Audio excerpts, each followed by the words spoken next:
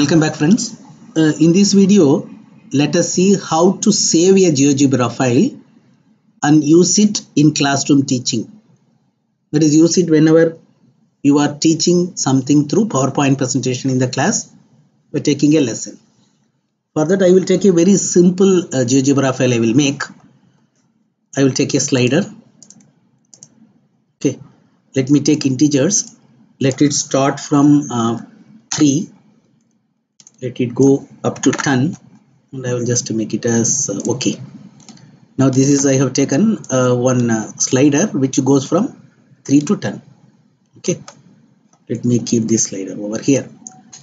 I'm going to show you regular polygon to the children. Regular polygon.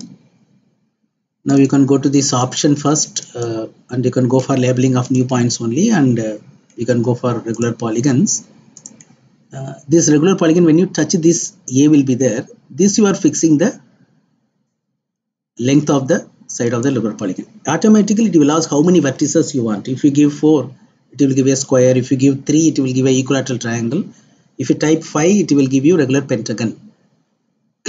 But I will type small n and I will keep it as okay.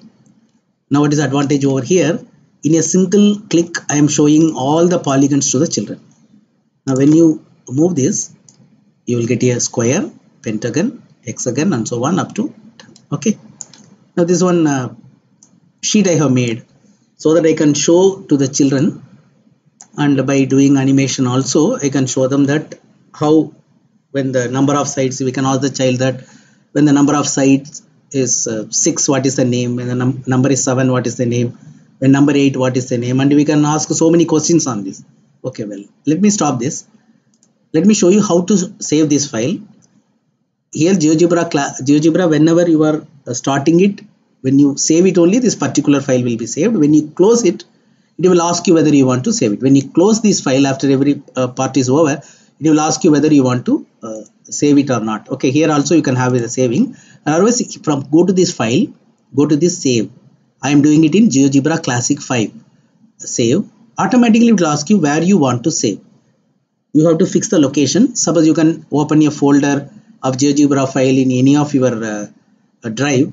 I will uh, show you I'm just want to show you to how to save it. In desktop I will save. But you can save it in any folder of your choice. I have to give a name to it. I will give regular polygon. Okay. And I will save it. Now you see regular polygon name has come over here when I close it now this regular polygon has come over here in the desktop. But when I open it automatically the GeoGebra file which I have made just now it will open. Now you can show it to the children now it, you can readily you can show it to the children now. But remember one thing you have to be very careful. Whenever you uh, just uh, close it it will ask you whether to save it. When you save it then it will automatically it is saved. Okay well now the thing is very important thing is now when you open this regular polygon in this computer where I am working now it opens in GeoGebra because GeoGebra is loaded. Suppose if you take this file copy it in a pen drive or take it to your classroom situation where you are want to show it in any other computer remember that in that computer also GeoGebra is to be loaded. Otherwise you cannot open this file there. It will not get open because this is called .ggb extension file. It will not get open. But how to check it?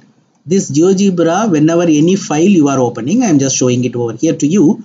This icon will come. Otherwise if this icon is not coming remember that GeoGebra is not loaded in the computer in which you are trying to open.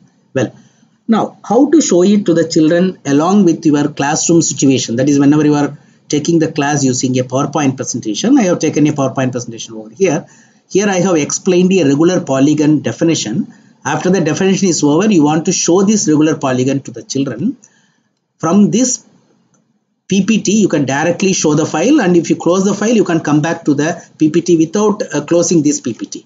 Go to this insert, go to this uh, shapes. I think you might have used these shapes uh, in so many question papers and all. Come down, you are having this action button. In this action button, so many action buttons are there, but uh, the nature of all the action buttons are same but here I want to show a document to them. Therefore I am selecting this icon select it and put it over here. Immediately it will ask what is the hyperlink?